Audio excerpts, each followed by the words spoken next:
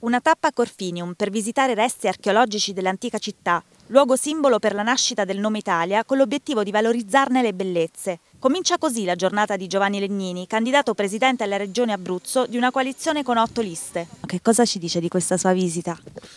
Che si tratta di un luogo simbolo molto identitario della nostra regione, un luogo che con il sindaco abbiamo deciso, quando io sarò eletto Presidente della Regione, di fortemente valorizzare.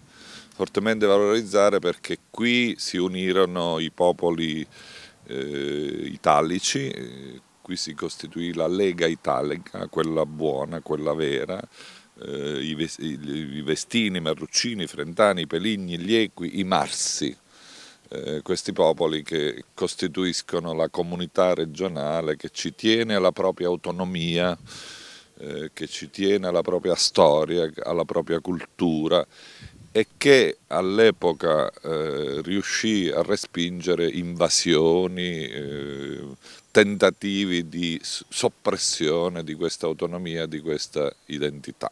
Il presente siede tra il passato e il futuro e deve tenerle presenti entrambe, così disse Don Milano. A proposito della funzione della scuola, io lo dico a proposito del eh, nostro progetto politico che tiene conto della memoria, della nostra storia, della nostra identità appunto per costruire un futuro migliore. Qui venne utilizzato per la prima volta la parola Italia, qui si unirono i popoli, noi siamo portatori di questo messaggio di unità della nostra regione ma anche di forte autonomia della nostra regione. Il sindaco di Forfinio di cosa ha bisogno questo luogo?